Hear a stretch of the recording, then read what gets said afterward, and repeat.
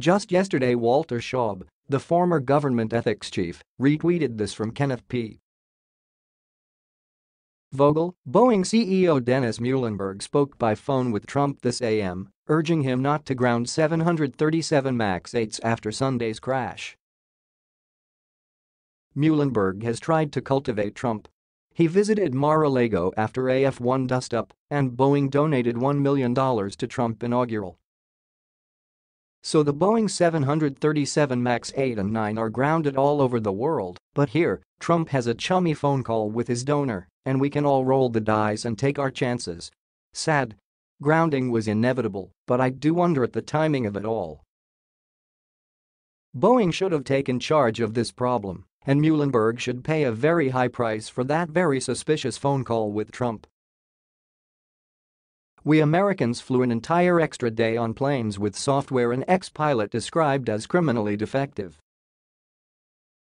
This is a good example of cascading events. Another good example is the criminal prosecution of Paul Manafort. The former campaign manager sleazed his way through the federal court system and ended up with a total of seven and a half years placed on his head.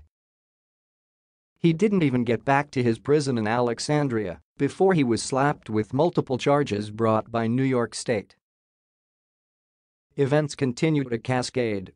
You can't stop that process, nor know where it will end. The judge in the latest Manafort sentencing, Amy Berman Jackson, was crystal clear about Russian collusion not being addressed at all in the case. To make her point, she even condemned the defense's insistence of no collusion with Russia as being a non sequitur.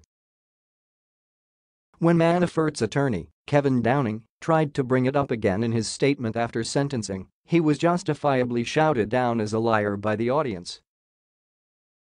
We don't know how this will end, but if I were Trump Jr., Kushner, Ivanka, and Eric, I wouldn't be humming the tune, I love New York.